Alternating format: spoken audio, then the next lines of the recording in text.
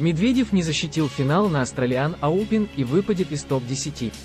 Восьмая ракетка мира Даниил Медведев уступил номер 31 Себастьяну Корди в третьем круге Австралиан Оупен 6, 7, 7, 3, 6, 6, 7, 4. Капризов бросил вызов Овечкину. Америка в восторге от достижения россиянина. Юбилейный гол позволил Кириллу встать в один ряд с легендами. Материнская компания Google сократит 12 тысяч сотрудников, 6% штата. Карьера на vc.ru. Сокращения коснулись всей Alphabet и разных продуктовых направлений, а попали под него те сотрудники, чьи задачи имели более низкий приоритет.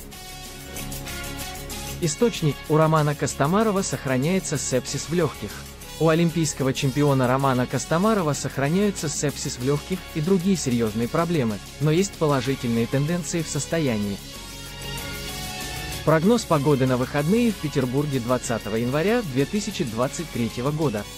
Прогноз погоды на выходные радует главного синоптика Петербурга Александра Колесова. Финляндия поставит Украине самый крупный за все время пакет военной помощи. Финляндия поставит Украине 12-й, самый крупный за все время, пакет военной помощи стоимостью более 400 миллионов евро. Старая. Чулпан Хаматова решила бросить актерство. Очередное громкое заявление от сбежавшей актрисы. Обнаружена экзопланета, внутри которой проходит ядерный синтез, это что-то среднее между планетой и звездой.